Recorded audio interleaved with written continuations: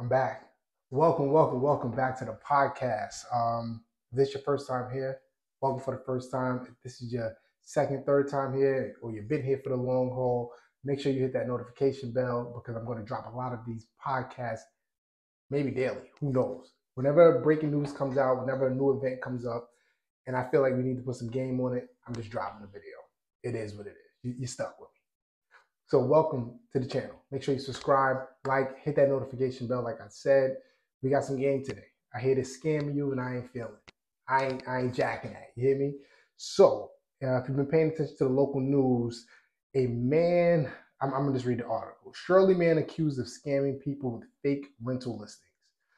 Uh, a Shirley man, so Shirley, Long Island, a man in Shirley, from Shirley, Long Island is accused of scamming people out of thousands of dollars with fake rental listings he posted on social media, according to Suffolk County Police. Uh, police said this 24 year old Christian Anderson relisted rental properties in the Mastic and Mastic Beach area online, claiming, claiming he was a realtor between January to March of this year.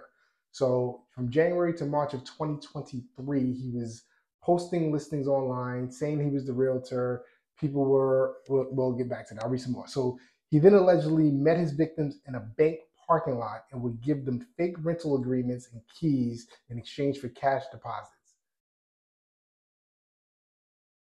Let's bring that back. let's bring let's bring that back because I'm, I'm mad at y'all. Y'all are meeting this guy in, this, in parking lots and giving them your. We're gonna read that back. Police said 24 year old Christian Anderson relisted rental properties in the Mastic and Mastic Beach, Long Island area online, claiming he was a realtor. All right, whatever.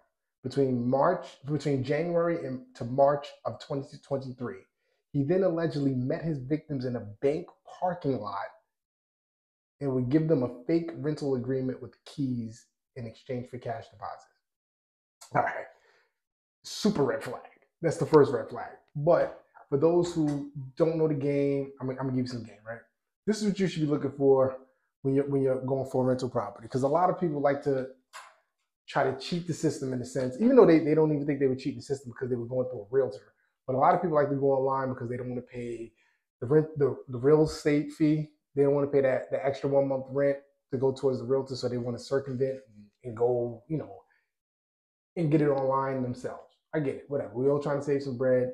I get it. But listen, if you're going to do that, this is this is what you should be doing. So the first thing you should be doing is asking someone for ID, especially if they're posing as a real estate agent. So if, that, if they're posing as a real estate agent, let me see some ID, let me see your business card, and don't just stop at that business card. Real estate agents are I don't even I don't know if it's about law, but I know local state, Department of State in New York, they issue uh, pocket cards for agents and they, they actually give us IDs that have a photo on it. It says the name of the brokerage. It says our license number, the expiration uh, for when our, our license expires because we have to renew it every two years. It's a literally, it's an ID. It looks like a, a photo license, right? So that's exactly what it is. That's the first thing you should be asking for when you're meeting these people in a parking lot. All right, cool. The second thing is Google Realtor. We're all a Google search away. We all have phones in our hands at all times. Google him. What was his name? Christian Anderson, local realtor. Let me let me see you, bro. Let me see. Let me see if you're actually realtor. Because if he's working as a real estate agent, he's going to come up somewhere online, not just Instagram, because anyone can create an Instagram account, a Facebook account, uh, whatever kind of account. Don't go off of that. Google them. Look for the brokers that they're saying that they're working with. See if that person is actually on that broker's list of agents. That is the most important thing make sure they're an actual real estate agent. Again, everything is a Google search away. Number three, so I'll get back, uh, let's get back to the story a little bit, right? So not only were they meeting them in the parking lot and giving them money, then they would go, um, they would go to the property and notice that people were still living in these properties that they just rented themselves, right? So they would go, they would try to put the key in the door, key wasn't working because someone else actually lived there. That's another thing you should do. You should actually, what's the address to this, to this listing? Okay, no problem. I'm gonna drive by. Drive by, see if see if this house looks empty. See if it looks abandoned. Abandoned and empty are two totally different things. Let's get to that. Make sure this property is actually not abandoned, meaning it, the, the the grass is overgrown. The house looks like no one ever has not lived there for decades. If you see something like that, that's another red flag. why hasn't anyone maintained this property? Especially if they're renting it, if they're listing it for rent right now, this property should be maintained at some some standard, right? That's another thing. So drive past the property. It's a quick listen. Save yourself. You're going to save a lot of money by burning a little gas to drive past that property. So that's another thing. Paper trail, people. You have to have a paper trail. You should not be meeting someone at a bank, going in the bank, getting a withdrawal, and giving this person your hard-earned cash. Paper trail. Certified bank, um, certified bank check, Venmo, Cash App, Zelle. There's so many options that we have now that you can keep a paper trail if you do find out this person is fraudulent, you can dispute it. If you're giving them cash, you can't dispute anything. It's a done deal. So what this dude was doing, so he was actually he was meeting these people. He was giving them fake leases. He was giving them fake keys, and he would delete the social media posts and block the people as soon as he got the cash.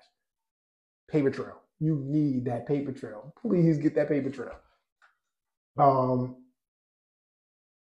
it's another thing. Why is he meeting you at the parking lot not at the property. Are you? He's not asking you for application. He's not doing a background check, credit check, nothing. That's red flag, man. These bells should be going off. Where's my application at, brother? Where is the credit check? Where is the background check? Where is the landlord? Why am I not interviewing with this landlord before I give you my cash? Who's accepting this application? If not, if they're not asking for a credit check, they're not asking for a background check, and I'm not meeting the landlord. I'm just meeting a realtor in a parking lot and he's giving me keys and saying, This is yours. Who am I paying next month? Who am I meeting? I'm not meeting. I didn't meet anyone. Interview with the landlord. At least that. And if you're going to give anyone your cash, it should be the landlord, right? It should be the landlord that you're going to give them the cash to for your deposit, your um, first month rent, and then the realtor's fee is on the side. Meet the landlord. So, if anything, and this is just not a New York thing. So I don't want anyone watching this that, that don't live in New York that think this is just a New York thing or New Yorkers are gullible. This is happening all over the country. People, scammers are getting very, very resourceful out here. I'm seeing they. I, I saw reports that they're doing this in buildings. They're doing this anywhere they could. They figure that they could get vulnerable people. That's what they're going to do. I remember I had a, um, a rental listing not too long ago. Well, maybe like two years ago, and I would meet people would meet me at the at the listing, and they were trying to give me cash there, and I and I said like, pump your brakes, man. Like one, I don't even know if you're qualified for this rental. What are we doing as far as again application, background check, credit check? I'm not just going to take your cash here. And I actually had a, a long conversation with one of the um, the prospect, um, prospective renters, and I, I, basically gave him the game like, man, don't be going just going somewhere with. Well, I think the rent for this one was like four thousand dollars, so he was about to give me like eight grand, four four thousand for the um for the um, the first month's rent and four thousand dollars for the broker fee. And I'm like, nah, man, don't just give somebody your cash like that. And in my head, I'm like, yo, if I was a grimy dude, I would have had eight grand. And this dude would never saw me again. He was, I don't think he had working papers and things like that. He was just trying to get a space for his family. So I get it. He was desperate, and when desperate, desperate stuff kicks in, when that when that kicks into your head, you're gonna you're gonna um just give people your hard earned cash and you're gonna burned at the end. So do not give them your bread. That's some game. So don't get scammed by these fake realtors when it comes to these rentals. Ask for ID, Google, make sure you're interviewing with the landlord, make sure you drive past the property. It's the least you can do before you give somebody your money. So that's my game. That's free game for the week. Maybe not even for the week, because like I said, I'm going to be dropping videos like this all the time now going forward. I'm just dropping videos. It's me and my office. You see, I'm, we fighting. We fighting for our people. You see the glove in the background, and we hustling at the same time. I'm dropping these videos daily. If they come, if events come up daily that I think you need some game on, we're dropping it. I don't even care if it's two minutes, three minutes, we're dropping nothing but game. So like, subscribe, hit the notification bell, follow me on IG, Shawn Waller underscore. That is the handle going forward. Follow the uh, Strictly Free Game IG at Strictly Free Game Podcast again, let me leave a leave a comment. Let me know if you if you are feeling these videos, if you like this game that we're giving out. Let me know. Keep, stay linked in. Hit that notification bell. I might drop another one this week. More game. Let's go.